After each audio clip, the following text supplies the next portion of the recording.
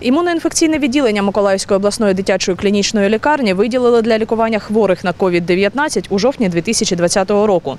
З того часу тут прийняли 206 пацієнтів. У 64 з них діагноз коронавірус підтвердився. Медичний персонал сюди заходить з вулиці, минаючи інші відділення. У спеціальній кімнаті вдягає засоби індивідуального захисту та йде до пацієнтів. Тут є і спецодяг. Тут є і спецодяг для хірурга. Тобто, якщо він прибіг, у нього є свій костюм. Вдягнув і пішов консультувати. Ковідна клініка у дітей схожа на грипозний стан, на вірусну інфекцію. Лихоманка, дисфункція кишківників, ураження дихальних шляхів, розповідає завідуюча імуноінфекційним відділенням Олена Воронкова. Противовирусная терапия на первом месте.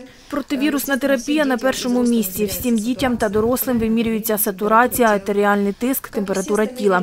Як і всі інші вірусні інфекції, починаються з постільного режиму, але при ковіді потрібне і фізичне навантаження.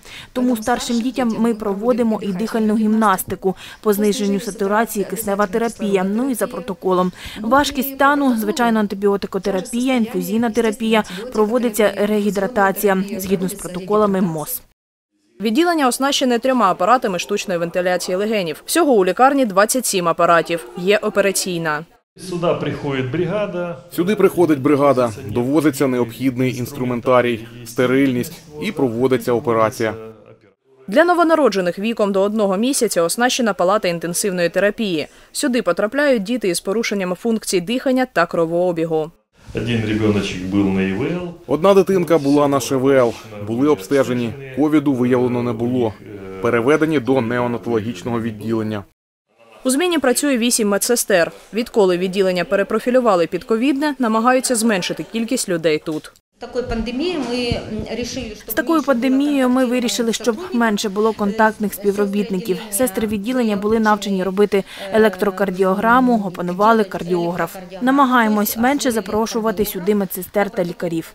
Пацієнти із підтвердженим діагнозом коронавірус знаходяться на другому поверсі, на першому у боксах із підозрою. Відділення розраховане на 25 ліжок. Є 22 точки доступу кисню та 17 кисневих концентраторів. У лікарні 25 кисневих балонів. Відділення повністю забезпечене для надання допомоги дітям будь-якого віку, говорить головний лікар Олександр Пліткін.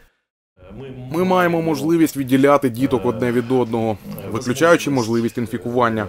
У нас є мільцерівські бокси, є окремі палати. Ми можемо розділяти дітей.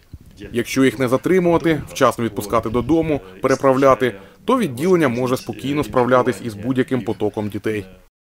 Валентина Гурова, Юлія Філімон. Новини на Суспільному. Миколаїв.